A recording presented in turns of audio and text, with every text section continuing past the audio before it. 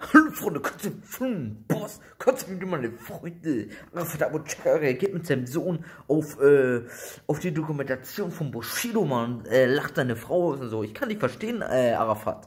Die Dokumentation ist echt, äh, ein, als Schlag ins Gesicht und von einem alten Freund sowas erwartet man, sowas geht gar nicht so Shido, man, ne? Also, anstatt mal irgendwie dankbar zu sein für die Sachen, die er für dich getan hat, dass du irgendwie alle Jahre lang der Gangster sein darfst, einfach auszupacken und irgendwie die ganze Zeit rumzuheulen. Ey, ich wollte das Opfer. Nein, Sushido. Du hast auch deinen Profit daraus gezogen. Also tu jetzt nicht so, als hätte Arafat nur darauf profitiert. Du hast auch darauf profitiert. Und der darauf profitiert, ist mal einfach dankbar dafür. Und heult nicht die ganze Zeit rum, man. Das ist ja einfach nur äh, rumheulen und rumheulen und Maß, ey. Und dass noch eine zweite Staffel kommen soll. Wie soll das denn enden? Ne, Dokumentation doch, äh, ich heul rum äh, und bekomme Polizeischutz und bin ein Gangster. Ja, was denn, Mann?